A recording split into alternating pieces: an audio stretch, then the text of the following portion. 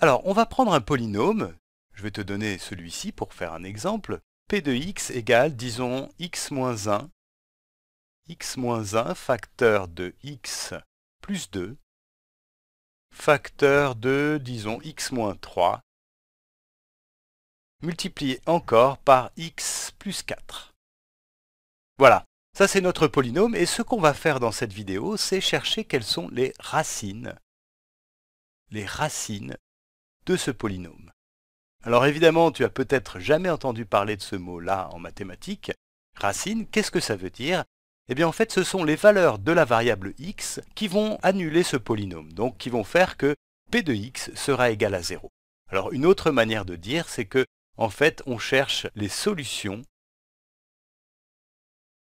les solutions de l'équation p de x égale 0. Voilà, ce qu'on appelle une racine d'un polynôme, c'est une solution de l'équation p de x égale 0, donc une valeur qui annule ce polynôme. Donc dans notre cas, euh, on cherche les solutions de l'équation p de x égale 0. Alors je vais l'écrire ici, c'est x moins 1 facteur de x plus 2 facteur de x moins 3 facteur de x plus 4 égale à 0. Voilà, ça c'est l'équation qu'on doit résoudre si on veut trouver les racines de notre polynôme p. Alors à ce stade, ce qui serait bien, je pense, c'est que tu essayes toi-même de résoudre cette équation-là en mettant la vidéo sur pause, et puis ensuite on se retrouve pour le faire ensemble. Alors la chose importante à réaliser ici, c'est que en fait notre polynôme, il est sous une forme qu'on appelle factorisée, c'est-à-dire qu'on l'a écrit comme un produit de plusieurs facteurs, ici quatre facteurs, donc si on veut que ce produit-là soit nul, eh bien il faut que au moins un des quatre facteurs soit nul, et dans ce cas-là, le produit entier sera nul. En fait, ce genre d'équation-là, factorisée comme ça, on appelle souvent ça une équation produit nul. Donc ici, ce qu'on doit chercher, c'est une valeur qui va rendre égal à 0 un des facteurs. Par exemple, ce facteur-là est égal à 0, on aura 0 fois quelque chose et ça fera bien 0. Et si c'est, euh, disons, le dernier facteur ici qui est égal à 0, eh bien, euh, l'ensemble du produit sera égal à 0 aussi. Donc les racines de notre polynôme, alors il y a une première possibilité, c'est que ce facteur-là soit nul, donc que x moins 1 soit égal à 0. Et ça, évidemment, on sait le résoudre assez facilement. Ça, c'est vrai si x est égal à 1. Donc x égale 1, ça, c'est une racine de notre polynôme p. Effectivement, si tu remplaces x par 1 ici, ça, ça va être égal à 0 et donc tout le produit sera égal à 0.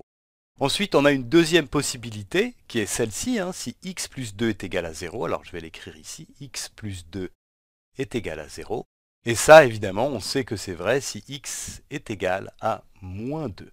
Donc voilà, une autre racine de notre polynôme, x égale moins 2. Et puis il y a une troisième racine qu'on peut trouver en regardant les valeurs de x qui annulent ce facteur-là, x moins 3. Donc on va chercher quand est-ce que x moins 3 est égal à 0, et ça, évidemment, c'est quand x est égal à 3.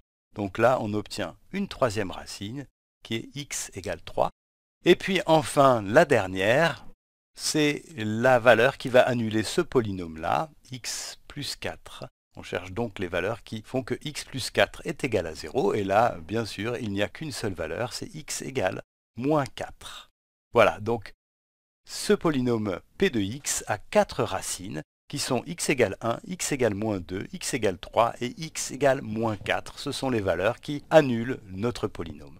Alors, je te fais une petite remarque qui peut être intéressante, c'est que tu vois, on a quatre facteurs et donc quatre racines.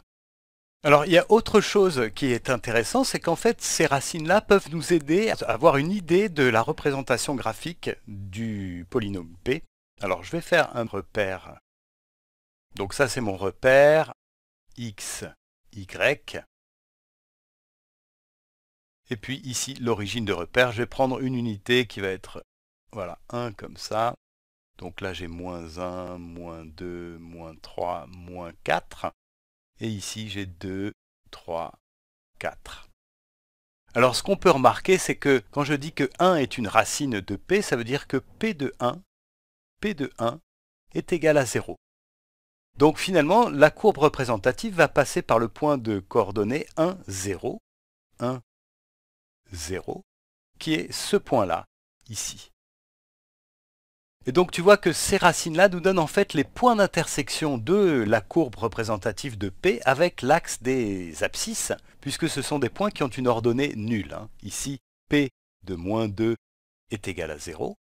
Ici, P de 3 est égal à 0. Et ici, P de moins 4 est égal à 0. Donc ces racines nous donnent quand même une indication, elles nous disent où est-ce que la courbe coupe l'axe des abscisses. Donc on a un deuxième point qui est ici, moins 2, 0, ça correspond à cette racine-là. On a un autre point qui correspond à cette racine-là, qui est le point de coordonnées 3, 0, ici. Voilà. Et enfin, on a une autre intersection qui est le point de coordonnées moins 4, 0, qui est celui-ci. Voilà, donc on sait que la courbe va couper l'axe des abscisses en ces quatre points-là. Alors évidemment, ça ne nous donne pas toutes les indications qu'il faut pour tracer la courbe. Elle pourrait faire quelque chose comme ça, par exemple. Ça pourrait être une possibilité, ou alors, dans l'autre sens, quelque chose comme ça. Ça, euh, pour décider de vraiment de l'allure de la courbe, il va falloir pousser un peu plus l'enquête mais tu vois que les racines quand même nous donnent des indications assez fortes. Alors pour te convaincre pour illustrer un petit peu tout ça, j'ai pris le temps de tracer le graphique avec GeoGebra, donc le voilà. Ça c'est la représentation graphique de P et tu vois qu'elle a vraiment une allure très proche de ce qu'on avait pu imaginer ici.